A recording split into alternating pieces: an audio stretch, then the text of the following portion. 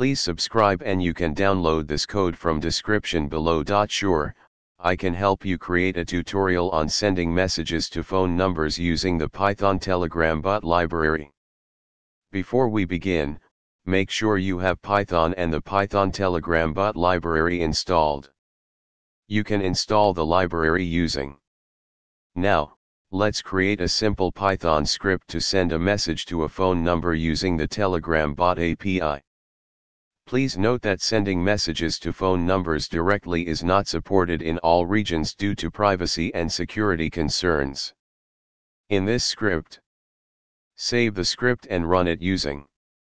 This script uses the telegram.bot class to create a bot instance and the send underscore message method to send a message to the specified phone number. The parse mode.markdown argument is optional and allows you to format the message using Markdown.